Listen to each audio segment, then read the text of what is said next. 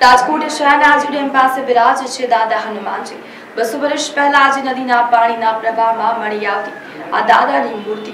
શું છે શ્રી દાદા હનુમાનજીનો વર્ષ જૂનો ઇતિહાસ? આવો ભક્તિસભર કાર્યક્રમમાં જાણીએ શ્રી દાદા હનુમાનજીના પરિચય.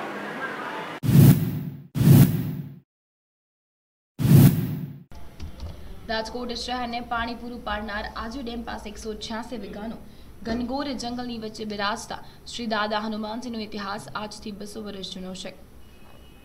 જ્યારે રાજાશાહી વખતમાં અહીંના નરપુષ્ટિમાં, અહીંના ભગવાન મેવડા કુટુંબના લોકો નરપુષ્ટિમાં વિજય મેળવ્યા બાદ અત્યારે સર લાખનજી રાજ જે આ જગ્યા તેમને આપી.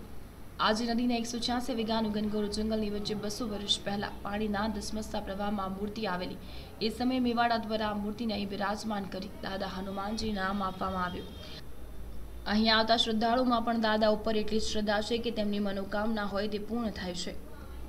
દાદા હનુમાનના સાનિધ્યમાં દર શનિવારે સુંદરકાંડના પાઠ મહારતીનો લાભો લેવા માટે રાજકોટ શહેરની પ્રજા દાદાના સાનિધ્યમાં ભક્તજનો પહોંચી જાય છે.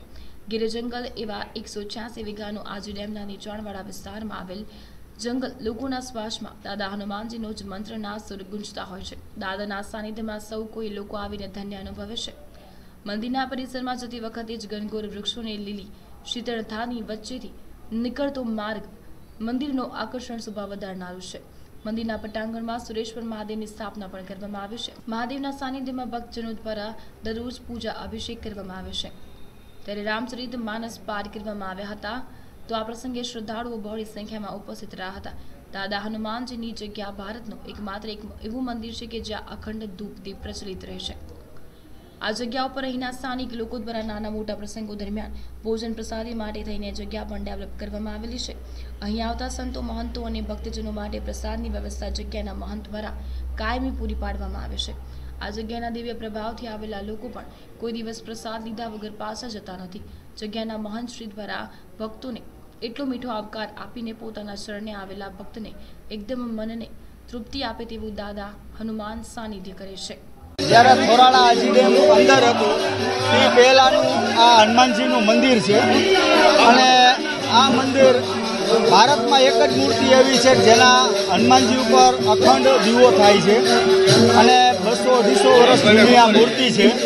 અને આ મૂર્તિ રાજાશાહી વખતમાં જ્યારે મલકુસ્તીમાં અહીંના ભરવાડ મેવાડા કુટુંબના લોકો જે અહીંનો નેસ હતો અને પછી મલકુસ્તીમાં એને એક બીજા રાજાના મલને હરાવ્યો, ત્યારે લાખાજી રાજે તાંબાના પત્રે અહીંની આ જમીન એ લોકોને આપેલી. પછી દોઢસો બસો વર્ષ પહેલાં અંદાજે આ મૂર્તિ આજી નદીમાં આવેલી તણાઈ અને દાદાભાઈ ભરવાડ નામના વ્યક્તિએ આ મૂર્તિ નદીએથી ઉપાડી અને અહીંયા સ્થાપન કરેલું.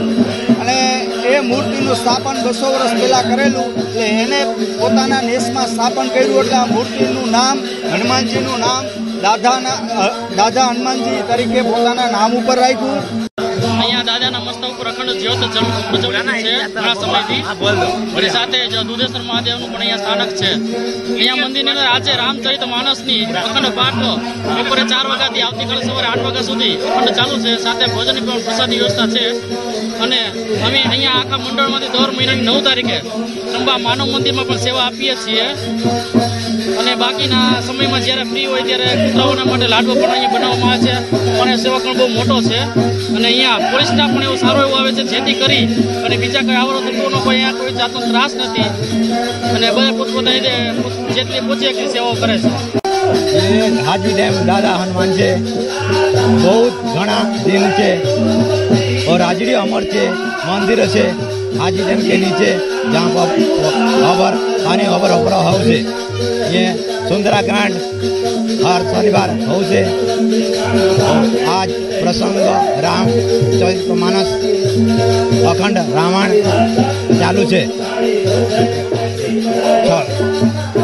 बारह बारह कलाक का रावण अखंड रावण चालू है दादा का माथा में दिवा अखंड चालू है